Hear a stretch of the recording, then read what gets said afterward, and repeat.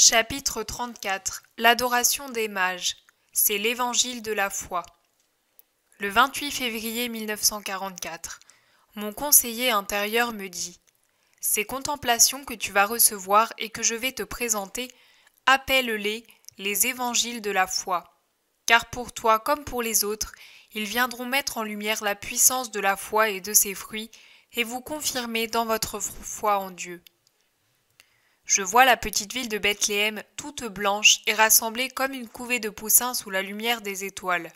Deux rues principales s'y coupent à angle droit, l'une venant de l'extérieur du bourg. C'est la grande route qui continue plus loin. L'autre qui le traverse d'un bout à l'autre, mais pas au-delà. D'autres ruelles sillonnent cette bourgade sans la moindre trace d'un plan d'urbanisme tel que nous le concevons. Elle s'adapte plutôt aux différences de niveau du sol et aux maisons édifiées çà et là, au gré des accidents du sol et des caprices de construction. Tournée parfois vers la droite, parfois vers la gauche, ou encore deux biais par rapport à la rue qui les borde, ces maisons l'obligent à ressembler à un ruban sinueux au lieu d'être rectiligne entre un point et un autre. De temps en temps, on rencontre une petite place, soit pour un marché, soit pour une fontaine ou encore parce que les bâtiments sont construits au petit bonheur, un espace libre sur lequel on ne peut rien construire. À l'endroit où, à ce qu'il me semble, je dois m'arrêter plus particulièrement, se trouve précisément l'une de ces places irrégulières. Elle devrait être carrée ou du moins rectangulaire. Elle se présente au contraire sous la forme d'un trapèze si bizarre qu'on dirait un triangle coupé au sommet. Du côté le plus long, la base du triangle, se dresse un bâtiment large et bas. C'est le plus important du village. Du dehors, c'est une muraille lisse et nue sur laquelle s'ouvrent deux portes cochères actuellement bien fermées. À l'intérieur, en revanche, de nombreuses fenêtres au premier étage donnent sur la cour carrée, tandis que, au-dessous, des portiques entourent des cours jonchées de paille et de détritus, avec des vasques pour abreuver les chevaux et les autres animaux. Les colonnes rustiques des portiques portent des anneaux pour attacher les bêtes, et sur un côté se trouve un vaste hangar pour abriter troupeaux et montures. Je comprends qu'il s'agit de l'auberge de Bethléem. Sur deux autres côtés, de même longueur, se trouvent des maisons et des maisonnettes, les unes précédées d'un petit jardin et d'autres pas, car certaines ont la façade tournée vers la place et d'autres vers l'arrière.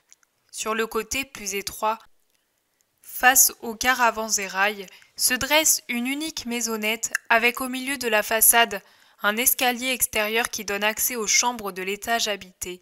Comme c'est la nuit, elles sont toutes fermées et vu l'heure, les rues sont désertes. Je vois s'intensifier la clarté de la nuit qui descend d'un ciel semé d'étoiles, toujours si belles dans le ciel d'Orient, si vives et grandes qu'elles en paraissent toutes proches. On a l'impression qu'on pourrait aisément les atteindre, les toucher du doigt, ces fleurs qui brillent sur le velours du firmament. Je lève les yeux pour comprendre quelle est la source de cette intensité de lumière. Une étoile d'une taille insolite, qui la fait ressembler à une petite lune, s'avance dans le ciel de Bethléem. Par là même, les autres paraissent s'éclipser et lui céder le passage comme des servantes sur le parcours d'une reine. Tant son éclat les surpasse et les fait disparaître. Son royaume ressemble à un énorme saphir, éclairé de l'intérieur par un soleil. Il en sort une traînée lumineuse où prédomine un bleu céleste, mais où se fondent les blonds des topazes, les verts des émeraudes, l'éclat irisé des opales, les clartés sanguines des rubis et le doux scintillement des améthystes. On retrouve toutes les pierres précieuses de la terre dans cette traînée qui balaye le ciel d'un mouvement rapide et ondulant, comme si elle était vivante. Mais la couleur prédominante qui semble pleuvoir du globe de l'étoile, c'est la teinte paradisiaque de saphir clair qui vient colorer d'un bleu argenté les maisons, les rues et le sol de Bethléem, ce berceau du Sauveur. Elle n'a plus rien de la pauvre bourgade qui pour nous est, plus petite qu'un village rural. C'est une cité fantastique de contes de fées où tout est d'argent, même l'eau des fontaines et des vasques ressemble à du diamant liquide. C'est en rayonnant avec encore plus d'éclat que l'étoile s'arrête sur la petite maison qui se trouve du côté le plus étroit de la place. Ni ses occupants, ni les villageois ne la voient, parce qu'ils dorment dans leurs maisons bien closes. Cependant, les palpitations lumineuses de l'astre s'accélèrent. Son sillage ondule et tourbillonne plus fort en traçant presque des demi-cercles dans le ciel, qui s'illumine tout entier sous l'effet de cette poussière d'étoiles qu'elle entraîne. Ce filet des pierres précieuses qui resplendissent de mille couleurs sur les autres étoiles, comme pour leur communiquer un message de joie. La maison tout entière est baignée de ce feu liquide de joyaux. Le toit de la petite terrasse, l'escalier de pierre grise, la petite porte, tout ne forme qu'un bloc d'argent, pur, saupoudré, d'une poussière de diamants et de perles. Aucun palais royal sur terre n'a jamais eu et n'aura jamais d'escalier pareil à celui-ci, fait pour recevoir le passage des anges et pour servir à la mère qui est mère de Dieu. Ces petits pieds de Vierge Immaculée peuvent se poser sur cette éclatante blancheur, ces petits pieds destinés à se poser sur les marches du trône de Dieu. Mais la Vierge ignore tout. Elle veille à côté du berceau de son Fils épris. Son âme recèle des splendeurs qui surpassent celles dont l'étoile embellit toutes choses. Un cortège s'avance dans la rue principale, chevaux harnachés et d'autres guidés à la main, dromadaires et chameaux, les uns montés, les autres chargés de bagages. Le bruit des sabots ressemble à de l'eau qui clapote en heurtant les pierres d'un torrent. Parvenus sur la place, tous s'arrêtent.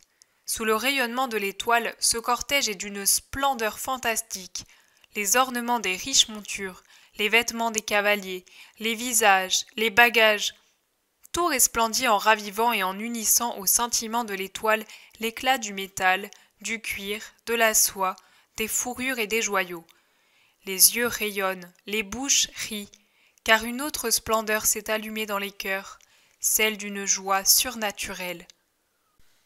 Pendant que les serviteurs se dirigent vers le caravansérail avec les animaux, trois personnages de la caravane descendent de leurs montures respectives, qu'un serviteur emmène aussitôt, et marchent vers la maison. Ils se prosternent face contre terre et baisent le sol. Ce sont trois personnages puissants, leurs riches vêtements le prouvent.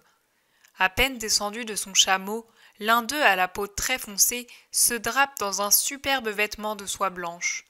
Son front est ceint d'un cercle d'or et de sa ceinture pend un poignard ou une épée dont la garde s'orne de pierres précieuses. Les deux autres sont descendus de leurs magnifiques chevaux. L'un d'eux est revêtu d'une tunique rayée très belle où domine le jaune. Cet habit est comme un long domino garni d'une capuche et d'un cordon qui semble fait tout d'une pièce en filigrane d'or, tant ils sont ornés de brocart.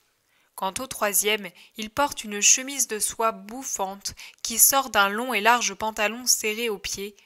Il s'est enveloppé dans un châle très fin, véritable jardin fleuri, tant sont vives les fleurs qui le décorent entièrement. Sur la tête, il porte un turban retenu par une chaînette, faite entièrement de chatons de diamants. Ayant vénéré la maison où se trouve le Sauveur, ils se relèvent et vont au caravansérail que les serviteurs, après y avoir frappé, ont fait ouvrir. Ici s'arrête ma vision. Elle reprend trois heures plus tard par la scène de l'adoration des mages à Jésus. Il fait jour désormais. Un beau soleil brille dans le ciel de l'après-midi. Un serviteur des mages traverse la porte et gravit l'escalier de la petite maison. Il entre, ressort et retourne à l'auberge. Les trois sages sortent, suivis chacun de son serviteur, il traverse la place. Les rares passants se retournent pour regarder ces personnages majestueux qui marchent lentement avec solennité. Un bon quart d'heure est passé entre l'entrée du serviteur et celle des mages, ce qui a permis aux habitants de la petite maison de se préparer à recevoir leur hôte. Ces derniers sont habillés encore plus richement que la veille au soir. Les soieries resplendissent, les pierres précieuses étincellent, un grand panache de plumes de grand prix couvertes d'écailles, encore plus précieuses aussi sur la tête de celui qui a un turban. L'un des serviteurs porte un coffre orné de marqueterie dont les fermetures sont en or buriné. Le deuxième, une coupe très travaillée, surmontée d'un couvercle encore mieux ciselé.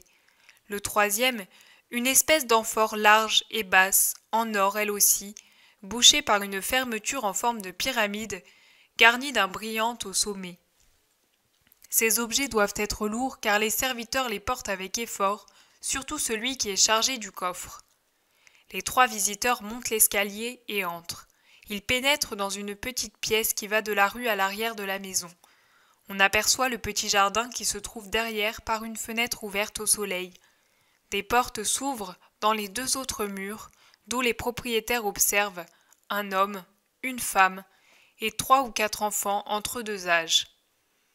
Marie est assise, l'enfant sur son sein, et Joseph se tient debout auprès d'elle.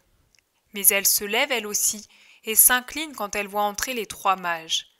Elle est entièrement vêtue de blanc, elle est si belle dans le simple vêtement immaculé qui la recouvre de la base du cou aux pieds, des épaules à ses fins poignets, si belle avec sa tête couronnée de tresses blondes, son visage rosi par l'émotion, ses yeux qui sourient avec douceur, sa bouche qui s'ouvre pour saluer. Que Dieu soit avec vous. Que les trois hommes en restent un instant interdits. Puis il s'avance, se prosterne à ses pieds et la prie de s'asseoir. Eux non, ils ne s'asseyent pas, bien que Marie les en prie. Ils restent à genoux, appuyés sur leurs talons. Les trois serviteurs se tiennent en retrait, eux aussi à genoux, de suite derrière le seuil. Ils ont déposé devant eux les objets qu'ils portaient et attendent. Les trois sages contemplent l'enfant, qui, à ce qu'il me semble, doit avoir de neuf mois à un an, tant il est éveillé et robuste. Il se tient assis sur le sein de sa mère, sourit et gazouille avec une voix de petit oiseau. Comme sa mère, il est entièrement vêtu de blanc et porte des sandalettes à ses pieds minuscules. Un petit vêtement tout simple, une tunique d'où sortent de beaux petits petons remuants, de petites mains potelées qui voudraient bien tout attraper, et surtout un très joli visage où resplendissent des yeux bleus foncés. Sa bouche fait des fossettes des deux côtés quand il rit, découvrant des dents minuscules. Les boucles de ses cheveux font penser à une poussière d'or, tant elles sont brillantes et vaporeuses. Le plus âgé des sages parle au nom de tous. Il explique à Marie que, une nuit du dernier mois de décembre, ils ont vu dans le ciel apparaître une nouvelle étoile d'un éclat inhabituel. Jamais aucune carte du ciel n'avait mentionné cet astre et nul n'en avait jamais parlé. On ne connaissait pas son nom parce qu'il n'en avait pas. Née du sein de Dieu, cette étoile s'était épanouie pour apprendre aux hommes une vérité bénie, un secret de Dieu. Mais les hommes ne s'en étaient guère souciés parce que leur âme était plongée dans la boue. Ils ne levaient pas les yeux vers Dieu et ne savaient pas lire les paroles qu'il trace, qu'il en soit éternellement béni, avec des astres de feu sur la voûte des cieux. Eux, ils l'avaient vu et s'étaient efforcés d'en comprendre le sens. C'est de bon cœur qu'ils avaient perdu le peu de sommeil qu'il leur accordait à leurs membres, et en oubliaient de manger pour se plonger dans l'étude de Zodiac. Or, les conjonctions des planètes, le temps, la saison, le calcul des heures passées et des combinaisons astronomiques leur avaient appris le nom et le secret de l'étoile. Son nom était Messie, et son secret être le Messie venu au monde. Ils avaient donc pris la route pour l'adorer à l'insu les uns des autres, par monts et par vaux, à travers déserts et fleuves, voyageant de nuit, ils avaient marché en direction de la Palestine, vers où l'étoile les guidait. Pour chacun, de trois points différents de la terre, elle allait dans cette direction. Et puis, ils s'étaient rencontrés de l'autre côté de la mer morte. C'est là que la volonté de Dieu les avait réunis, et ils avaient continué ensemble, en se comprenant bien que chacun parle sa propre langue, et en comprenant et pouvant parler la langue du pays traversé par quelque miracle de l'Éternel. Ensemble, ils étaient allés à Jérusalem, puisque le Messie devait être le roi de Jérusalem, le roi des Juifs. Mais l'étoile s'était cachée sur le ciel de cette ville. Ils avaient senti leur cœur se briser de douleur, et s'étaient examinés pour savoir s'ils avaient démérité de Dieu. Mais leur conscience les rassurant, ils s'étaient adressés au roi Hérode pour lui demander dans quel palais était né le roi des Juifs qu'il était venu adorer. Ayant convoqué les prêtres et les scribes, le roi leur avait demandé où devait naître le Messie, et ils avaient répondu À Bethléem, de Judée. Les mages étaient donc venus à Bethléem, et l'étoile était réapparue à leurs yeux, une fois quitté la cité sainte. La veille au soir, son éclat s'était accru, le ciel entier était embrasé. Puis, unissant la lumière des autres étoiles à son propre rayonnement, elle s'était arrêtée au-dessus de cette maison. Ils avaient compris que c'était là que se trouvait le nouveau-né divin. Et maintenant, ils l'adoraient et lui offraient leurs pauvres cadeaux, et par-dessus tout leur cœur qui ne cesserait jamais de bénir Dieu de la grâce qu'il leur avait accordée et d'aimer son nouveau-né, dont ils voyaient la sainte humanité. Ils allaient ensuite en rendre compte au roi Hérode, car lui aussi désirait l'adorer. Voici à la fois l'or qu'il convient à un roi de posséder, l'encens, comme il convient à Dieu, et voilà, mère, voilà la mire, puisque ton nouveau-né n'est pas seulement Dieu, mais homme, et connaîtra donc l'amertume de la chair et de la vie humaine, ainsi que la loi inévitable de la mort. Notre amour aurait préféré ne pas te dire ces mots, et penser que sa chair est éternelle à l'instar de son esprit. Mais, femme, si nos cartes ne se trompent pas, et plus encore nos âmes, ton Fils est le Sauveur, le Christ de Dieu, qui devra, pour sauver la terre, prendre sur lui le mal du monde dont l'un des châtiments est la mort. Cette résine est destinée à cette heure-là, pour que ces chairs qui sont saintes ne connaissent pas la pourriture de la corruption et gardent leur intégrité jusqu'à leur résurrection. Que par nos cadeaux, il se souvienne de nous et sauve ses serviteurs en leur donnant son royaume. Pour l'instant et pour être sanctifié par lui, que sa mère offre son enfant à notre amour, qu'en baisant ses pieds la bénédiction céleste descende sur nous. Marie, qui a dominé l'effroi provoqué par les paroles du savant et a dissimulé par un sourire la tristesse de l'évocation funèbre, leur offre l'enfant. Elle le pose dans les bras du plus âgé, qui l'embrasse et reçoit des caresses, puis il le passe aux deux autres. Jésus sourit et joue avec les chaînettes et les franges des trois hommes, et il regarde avec curiosité l'écran ouvert, rempli d'une matière jaune et luisante. Il rit quand il voit que le soleil forme un arc-en-ciel en tombant sur le couvercle de la mire. Puis les trois personnages rendent l'enfant à Marie et se lèvent. Marie en fait de même. Le plus jeune donne un ordre à son serviteur qui sort, et les uns et les autres s'inclinent. Les mages parlent encore un peu, comme s'ils ne pouvaient se résoudre à quitter cette maison, des larmes d'émotion brillent dans les yeux. Finalement, il se dirige vers la sortie, accompagné par Marie et Joseph. L'enfant a voulu descendre et donner la main au plus âgé des trois, et il marche comme cela, une main dans la main de Marie, l'autre dans celle du sage, qui se penche pour le retenir. Jésus a le pas encore incertain d'un enfant, et il rit en frappant du pied le rayon de lumière que le soleil dessine par terre. Parvenu sur le seuil, il ne faut pas oublier que cette prière prenait toute la longueur de la maison. Les trois visiteurs prennent congé en s'agenouillant encore une fois pour baiser les pieds de Jésus.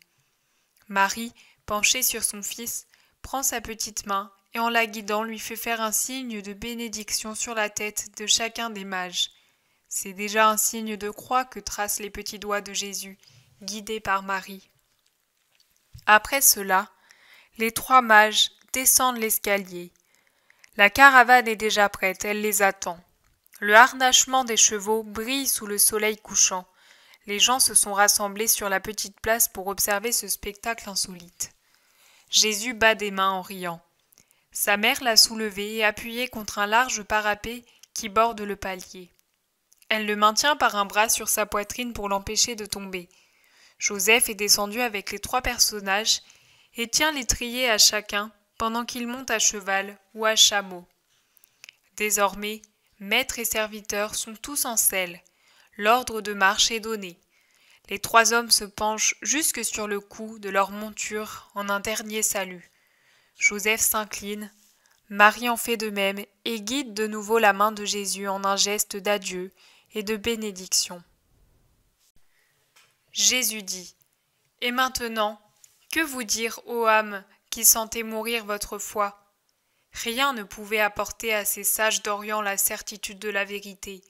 rien de surnaturel. Ils n'avaient que leurs calculs d'astronomie et leurs réflexions qu'une vie intègre rendait parfaite.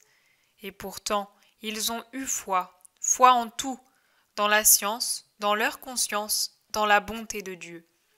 Par la science, ils ont cru aux signes de la nouvelle étoile qui ne pouvait être que celle que l'humanité attendait depuis des siècles, le Messie. Par ailleurs, ils ont eu foi en la voix de leur conscience qui recevait des voix célestes et leur disait C'est l'étoile qui indique l'avènement du Messie. Grâce à leur bonté, ils ont cru avec foi que Dieu ne les tromperait pas, et que puisque leur intention était droite, il allait les aider de mille façons à atteindre leur but. Et ils y sont parvenus. Parmi tant de personnes qui étudiaient les signes, eux seuls ont compris ce signe-là, car eux seuls avaient au fond du cœur le désir de connaître les paroles de Dieu avec une intention droite, dont le but principal était de rendre aussitôt à Dieu honneur et louange. Ils ne, recherchaient, pas quelques intérêts personnels. Au contraire, ils vont au-devant de fatigue et de dépenses, sans demander la moindre compassion humaine. Ils demandent seulement à Dieu de se souvenir d'eux et de les sauver pour l'éternité. De même qu'ils ne pensaient à aucune compensation humaine future, ils n'ont aucune préoccupation humaine lorsqu'ils entreprennent ce voyage. Vous, vous auriez coupé les cheveux en quatre de mille manières. Comment vais-je pouvoir faire un tel voyage dans des pays et parmi des peuples d'une autre langue Va-t-on me croire ou m'emprisonner comme espion? Quelle aide m'apportera-t-on pour traverser déserts, montagnes et fleuves Et la chaleur? Les vents des hauts plateaux Les fièvres qui règnent dans les régions marécageuses Les fleuves gonflés par les pluies Les différences de nourriture, de langue Et ainsi de suite. C'est comme cela que vous, vous raisonnez. Mais pas eux. Eux, ils disent avec une sincère, une sainte audace. Toi, mon Dieu, tu lis dans les cœurs et tu vois quel est notre but. Nous nous remettons entre tes mains. Accorde-nous la joie surnaturelle d'adorer ta deuxième personne, faite chère pour le salut du monde. Cela suffit. Ils se mettent en route à partir des Indes lointaines, des chaînes de montagnes de Mongolie, sur lesquelles planent seulement les aigles et les vautours, où Dieu parle les tumultes des vents et des torrents, où il écrit de mystérieuses paroles sur les pages illimitées des névés, des terres où le Nil naît puis coule, telle une veine bleu-vert à la rencontre du cœur de la Méditerranée couleur d'azur. Ni pics, ni forêts, ni sable, ni océan desséché plus dangereux que les mers, rien n'arrête leur marche. L'étoile brille sur leur nuit, elle les empêche de dormir. Quand on cherche Dieu, les habitudes animales doivent céder le pas aux impatiences et aux nécessités surnaturelles. L'étoile les amène du nord, de l'Orient et du Midi, et par un miracle de Dieu, elle s'avance pour tous trois vers un même point, comme par un autre miracle, elle les réunit après un tel parcours à cet endroit. Un troisième miracle leur donne anticipation de la sagesse de la Pentecôte, le don de se comprendre et de se faire comprendre, comme au paradis, où l'on ne parle qu'une seule et même langue, celle de Dieu.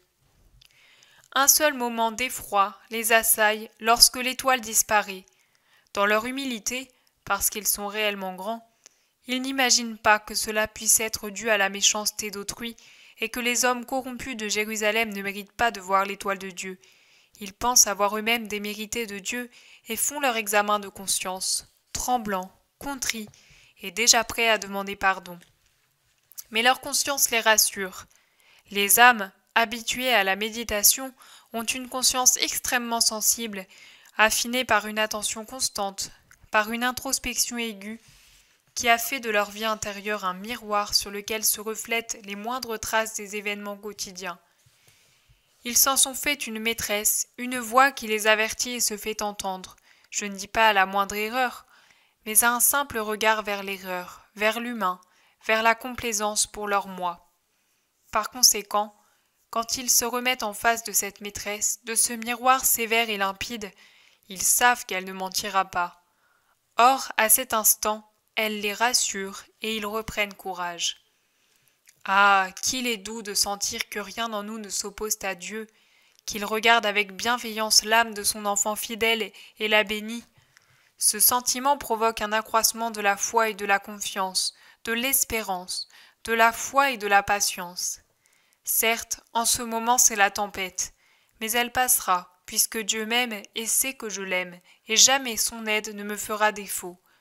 Ainsi parlent ceux qui ont en eux la paix que donne une conscience droite, qui dirige souverainement chacun de leurs actes. J'ai dit qu'ils étaient humbles parce qu'ils étaient réellement grands. Dans votre vie, que se passe-t-il au contraire? Un individu n'est jamais humble du fait qu'il est grand, mais parce qu'il est vaniteux et tire sa puissance de son influence et de votre sotte idolâtrie. Il y a des malheureux qui, pour la simple raison qu'ils sont majordomes d'un puissant, huissiers d'un bureau, fonctionnaires dans une administration, bref, au service de celui qui leur a procuré cette place, prennent des poses de demi-dieux. Comme ils font pitié. Mais eux, les trois, parce qu'ils étaient sages, étaient réellement grands, d'abord par leur vertu surnaturelle, ensuite par leur science, enfin par leur richesse, mais ils se considèrent comme moins que rien, poussière sur la poussière de la terre par rapport au Dieu très haut qui crée les mondes par un sourire et les sème comme des grains de blé pour rassasier les yeux des anges par des colliers d'étoiles. Ils se considèrent comme moins que rien par rapport au Dieu très haut qui a créé la planète sur laquelle ils vivent et lui a donné une extraordinaire variété.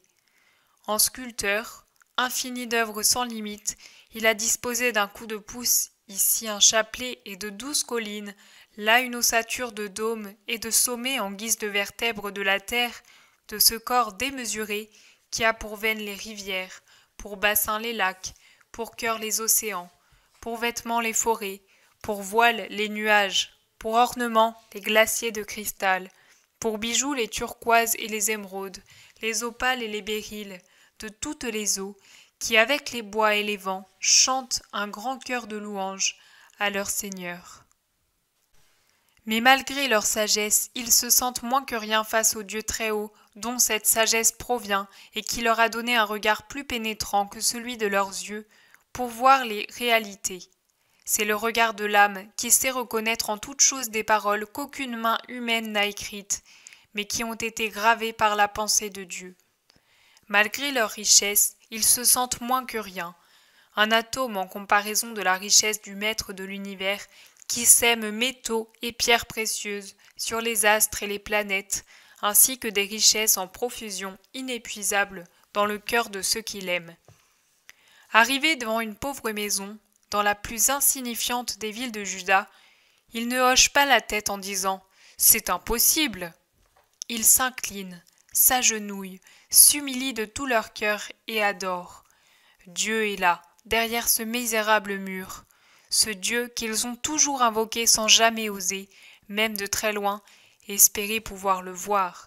Mais ils l'invoquent pour le bien de l'humanité tout entière et pour leur propre bien éternel. Ah, il n'espérait que cela, pouvoir le voir, le connaître, le posséder dans la vie qui ne connaît plus ni aube ni crépuscule. Il est là, derrière ce pauvre mur. Qui sait si son cœur d'enfant, qui est toujours le cœur de Dieu, n'entend pas le cœur de ces trois hommes, qui prosternés dans la poussière de la rue s'écrient Saint, Saint, Saint, béni soit le Seigneur notre Dieu, gloire, gloire et bénédiction. Il ne se le demande avec un cœur tremblant d'amour. Pendant la nuit et le matin suivant, c'est par la plus vive des prières qu'ils préparent leur âme à communier à l'enfant Dieu. Ils ne vont pas vers cet autel qu'est le sein virginal portant l'hostie divine, comme vous y allez, vous, l'esprit habité de préoccupations matérielles. Ils oublient sommeil et nourriture, et s'ils portent leurs plus beaux atours, ce n'est pas par vanité humaine, mais pour faire honneur au roi des rois. Les dignitaires entrent à la cour des souverains avec leurs plus beaux vêtements. Les mages ne devraient-ils donc pas s'avancer vers ce roi en habit de fête? Et quelle fête pour eux pourrait être plus grande que celle-ci? Dans leur contrée lointaine, ils ont dû maintes et maintes fois se parer pour des hommes qui étaient leurs égaux, pour les fêter, leur faire honneur. Il est donc juste de prosterner aux pieds du roi, suprême, pourpre et joyeux, soie et plume précieuse, de déposer à ses pieds, à ses doux petits pieds, les fibres de la terre, les parfums de la terre, les métaux de la terre, les pierres précieuses de la terre. Tout cela est son œuvre, pour qu'elle aussi, ces richesses de la terre, adorent leur Créateur. Et ils seraient heureux si ce petit bébé leur ordonnait de s'allonger sur le sol pour offrir un tapis vivant à ses premiers pas d'enfant, et leur marcher sur le corps, lui qui a quitté les étoiles pour eux, qui ne sont que poussière, poussière, poussière. Ils sont humbles, généreux, obéissants aux voix du Très-Haut, qui leur enjoignent d'apporter des cadeaux au roi nouveau-né. C'est ce qu'ils font.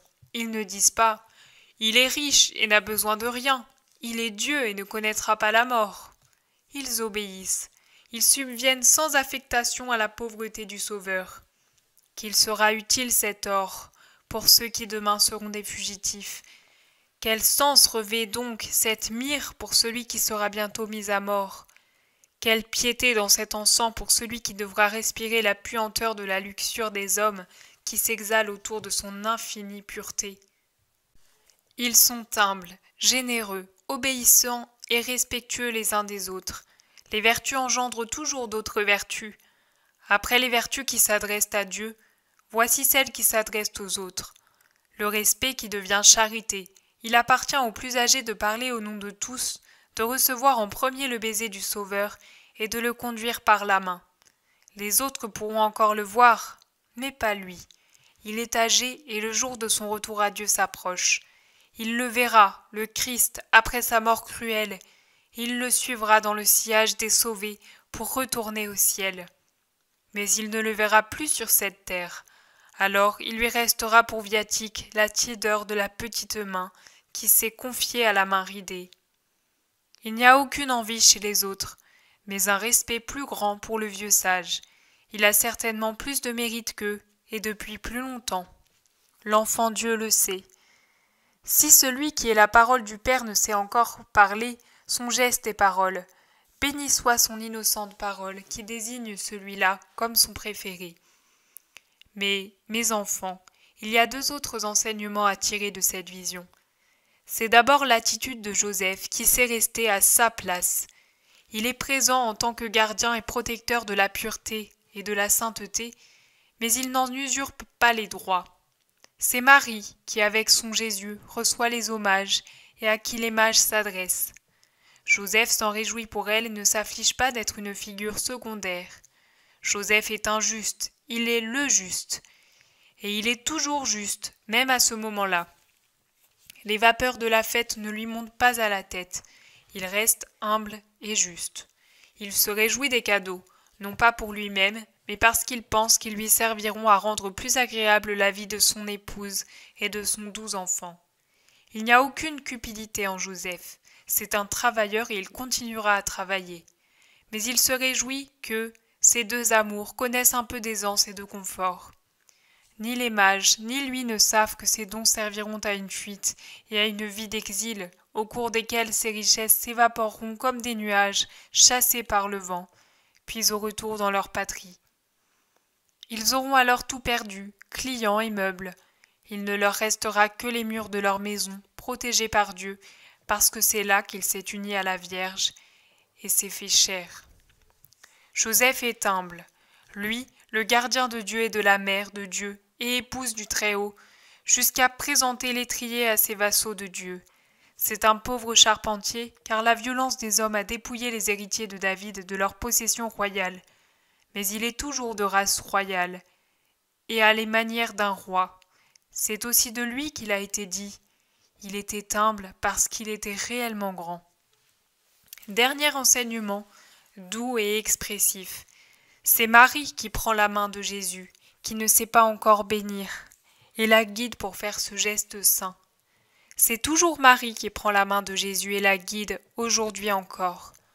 Aujourd'hui, Jésus sait bénir, mais il arrive que sa main transpercée retombe lasse et découragée parce qu'il sait qu'il est inutile de bénir. Vous détruisez ma bénédiction.